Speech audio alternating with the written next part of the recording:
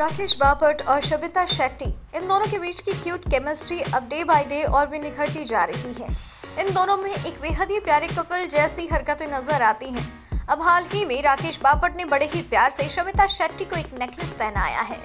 जी हाँ दोस्तों, बात होती है किचन एरिया की, जहाँ पर शमिता एक नेकलेस को थोड़ा सा करेक्ट कर रही होती हैं तो वहीं राकेश खाना खा रहे होते हैं। पास ही में सोफा पर बैठी होती हैं, दिव्या अग्रवाल।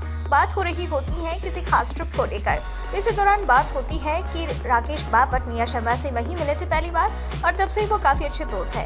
इसके साथ ही साथ बातें यूँ ही हो रही होती हैं कि शमिता राकेश से थोड़ी सी हेल्प मांगती है कि क्या तुम मुझे नेकलेस पहना सकते हो? राकेश बड़े प्यार से हामी भरते नज़र आते हैं।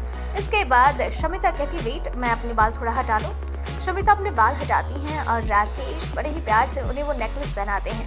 वो जो सीन है वो काफ़ी अडोरेबल होता है। वो किसी प्यारे कपल जैसे नज़र आते हैं और फैंस को इन दोनों की जोड़ी काफ़ी पसंद आती है।